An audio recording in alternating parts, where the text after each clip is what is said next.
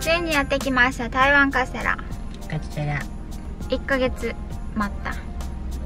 もうちょっと待ってね。2ヶ月9待った。月ぐらいにその存在して毎日毎日インスタの広告の誘惑に勝ち。広告じゃないフォローしてフォローした、はい、食べる人。これか。いい匂い。すごい混んでる。やっぱみんな安いの買いに来てるの？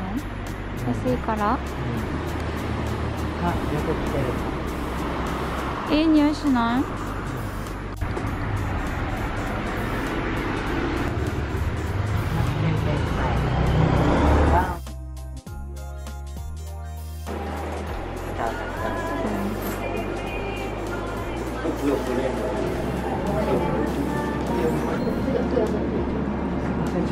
違うやつミニなん。とかが200円はいはいはい。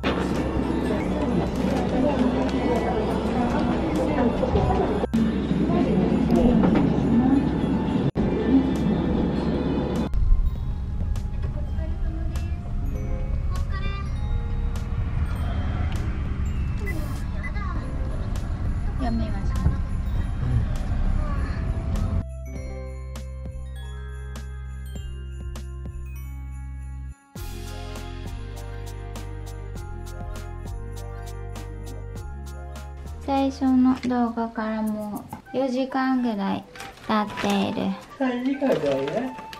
2人とも酔っ払いだけど食後のデザート別腹。むしろ今日はこれがメインだからね。賞味期限が早いからいつもより安く買えた。プルプル感あると思う？出来たてじゃないけどプルプルシュワシュワをまず楽しめ。うん。電子レンジで2 3 0秒温める。これは残念ながら昨日の作ったものだから出来たてではない。でもとりあえず1234やる。うん、1は無理だね出来たてじゃないからさ。234、うんだからもうそのままっていう意味よ今もうこれだ。今食べるのが4さうん。タンパク質この1個あたり27.3そういう脂質69炭水化物111.5食塩相当量0.78 110カロリー1180カロリー。一日で食べるもんじゃないでしょ？うん。普通はよ。うん。これが出来たてプルプル。じわじわ。プレーンとチョコ味をのミニサイズのチョコ味を買いました。まずプレーンを食べます。プレーンの冷やしたやつ。はい音がでもシュワシュワするね。あんまり分からんて、切ったよ。うん。あるうん。うん。冷やしてしっとりを。味わってよカステラのさ味控えめなやつじゃない？甘くないやつ。チーズケーキ？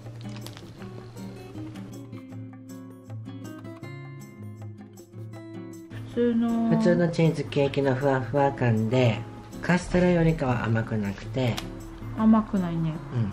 柔らかい。うん。むしろチーズケーキかもしれない。スフレのチーズケーキかな。すごいね。お客さんいっぱいいたよね。お客さんいっぱいいたね。甘くない。さっぱり。ね。プルプルをちょっとやっぱ体感したかったんだけど。うん。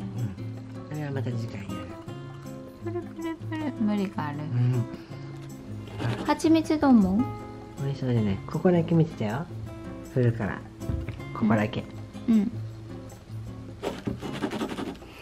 わかるあ一応うん無理やりかもね20秒温めましたどうでしょうかあの店はまた行くかもしれない違う柔らかさ増したようん食べてみてなんでふわふわ感。うん。わかる？違うね。ね。ふわふわしてるよね。うん。今がスフレっぽいかもしれない。うん。蜂蜜かけてみていい？うん。絶対巻いてよ誰もかける？こうかけたストップ出てよもういいってよホットケーキ食べてるしみああうんうんうん。スフレのホットケーキ。同じさコーティングしたらさあの売ってる時のみたいなあのチーズケーキってほら。うんうん。今見たらチーズケーキにしか見えないんだね。あでも別物だね。ただ蜂蜜かけた味だね。ブレンドはしなかった。なんかプルンってさっきプルン。うん。してるように見えた。今度はトーストさっきの残り物だけどトーストした。絶対違うと思ってよめっちゃ熱そう。うん表面ようんうん。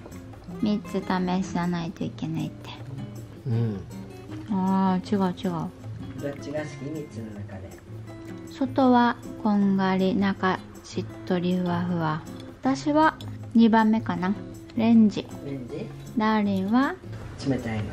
うんあとは今度あの作りたてのさ作りたは冷やす前の台湾カステラ食べないと。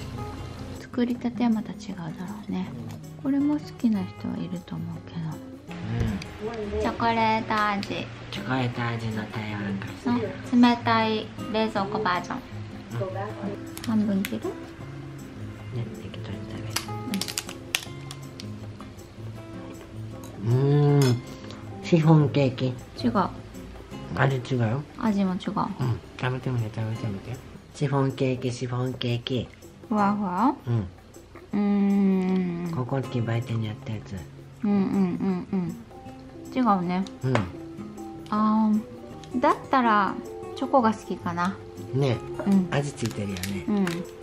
プレーンが一番かな。結局無難かなと思ったけど。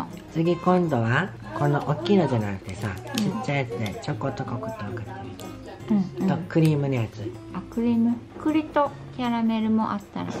うん。あ週か。週で日替わりが違うから。食べたいのがあったら買いに行った方がいい。すごいね。知る人ぞ知る。予約もして並んで買う。ふわふわだね。これはこのまま。温めようかなって思ってたけどそのまま食べようかな。冷たい方が美味しいね。正解だった浦添のグスクマにあります。うん。大成功。うん。うん